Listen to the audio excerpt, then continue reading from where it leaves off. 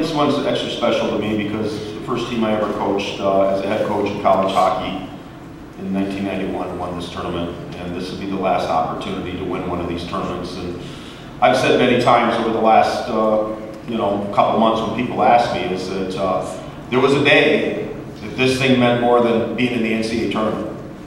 I mean, it was a jam jam-packed house all the time. Uh, it was an exciting place to come. It was, you know, everybody looked forward to going to the Joe, and the NCAA tournament was just kind of, you know, gravy.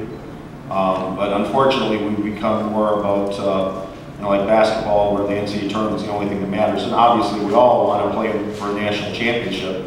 But winning a conference championship is, should be special. And, uh, you know, I think that the CCHA has done a great job in, in making this event special. You know, it's been a hard draw over recent years for whatever reasons. But, um, you know, it's a, it's a great venue for college hockey. It's a great city for college hockey. And, uh, I know that they'll probably continue with Big Ten, but uh, it'll be disappointing to, to not be able to come back here in the future.